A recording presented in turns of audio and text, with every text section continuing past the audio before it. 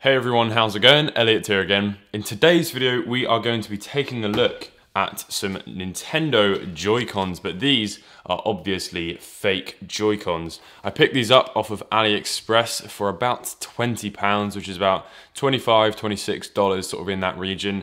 And uh, there's something pretty weird about these ones, which I haven't really seen anyone uh, cover before. So I'm quite excited to get into that. Obviously, um, you might notice a small difference in my background.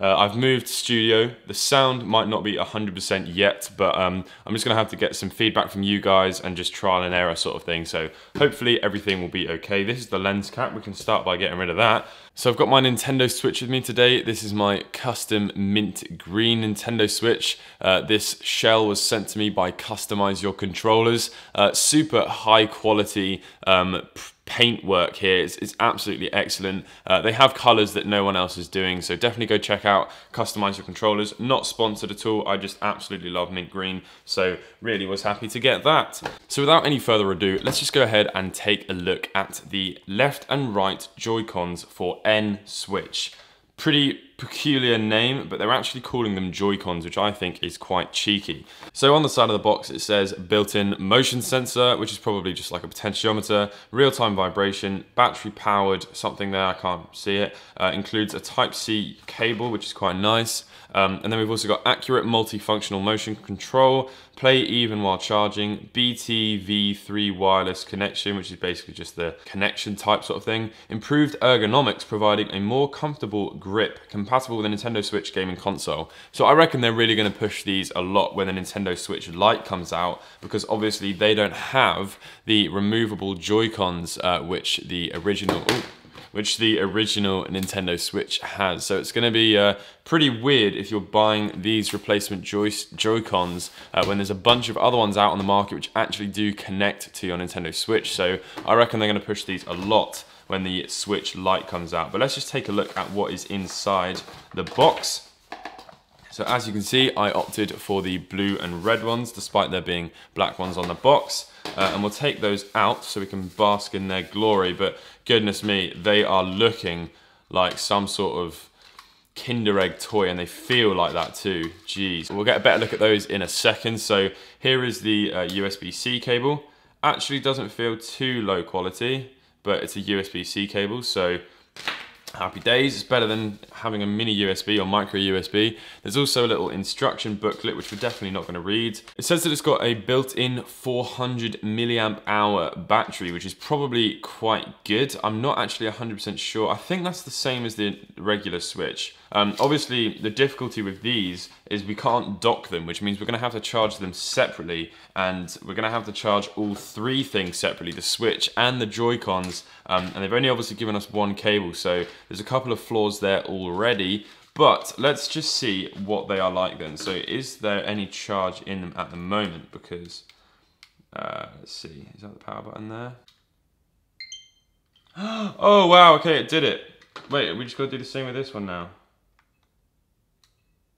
Oh, I think this one's out of battery. Oh no, here we go. Yes. Wait. yes! Yes! I did it! Oh my goodness me, that was not easy. Home button. Wow! Oh my god, we're actually in. Oh my goodness me. Look at that. We are actually... Wow, okay, we are actually in. That was not a simple process, but it is done now, and that is quite exciting. Okay. Uh, hello?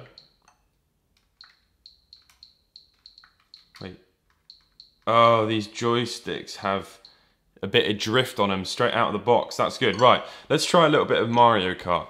Now, obviously, if you're buying these Joy-Cons, chances are you are going to be wanting to buy them for the sake of having two-player controls. So um, you're not really going to buy them and start using them like this, although that is possible. You're going to want to use them like this and then give one to one person and then play the other one um, yourself or whatever. So when you get into Mario Kart, we're going to want to go L and R there, single player, uh, let's go Grand Prix, and let's just do a quick race and see how they act. Um, straight away, I mean, they don't feel like the highest of quality um, sort of plastic, but you know, for the sake of 20 quid, uh, that's just what one of the actual official Joy-Cons cost. Um, and then, you know, you're still not really getting a proper comfortable experience. This is far more ergonomic. Um, there's sort of a little ridge here for your fingers to grip onto, um, and everything is sort of centered as well, which is nice, which is different to the uh, original ones. So yeah, I mean, they feel okay. The buttons don't feel too bad. Um, the biggest decider really is going to be how good the Joy-Con uh, joystick is, rather.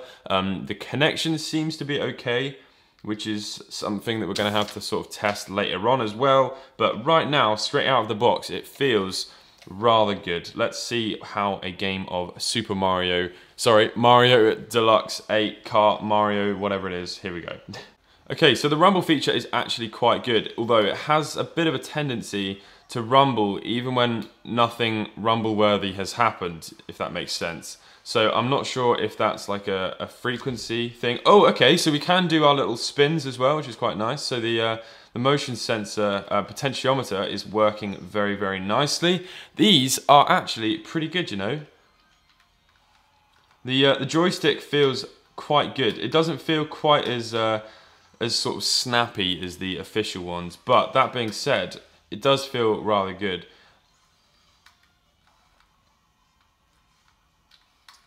I guess the biggest decider really is going to be the connection, but the connection for now seems okay.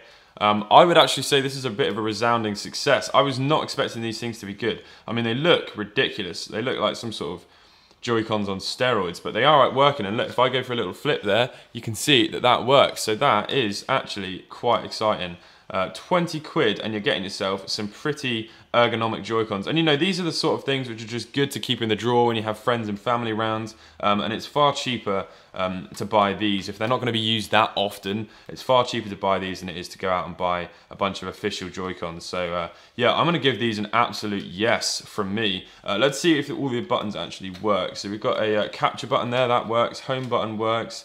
Um, L and R buttons obviously work because we tested that before. The A button's working on there. There's the plus and the, uh, the minus button. Let's see. Yeah, that's all working very well. So yeah, wow. Super impressed by that. Uh, let me know what you guys think in the comments section below. Uh, would you rather these for £20 or spend an extra £50 on these?